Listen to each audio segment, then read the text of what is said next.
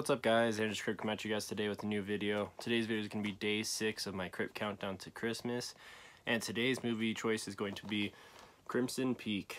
Um, so this is a ghost story film by Guillermo del Toro that came out, I think it's been about two years now. I think it came out like 2016. Let's see, yeah, 2016 on here. Uh, but this is an absolute great film.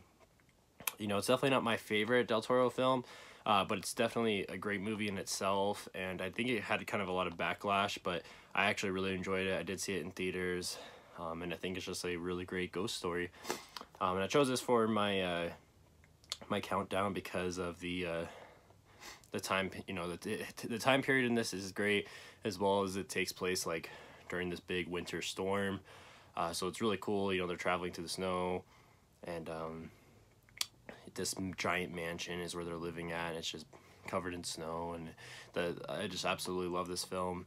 Um, so this is gonna be my day six pick of my countdown to Christmas. Let me know what you guys think if you've seen this. I know Arrow Video is gonna be putting out a uh, new release of this. I think it comes out in January, so I'm actually really excited to pick that up. I'll definitely be grabbing that. Um, but until then, I'll, I'll have this edition here, which is still a great edition but yeah, Crimson Peak, guys. Make sure you guys check it out if you have not seen it. If you're a fan of Del Toro, as well as if you like uh, creepy ghost stories, this is a great film for both of those. So let me know what you guys think, and I will see you guys in the next one.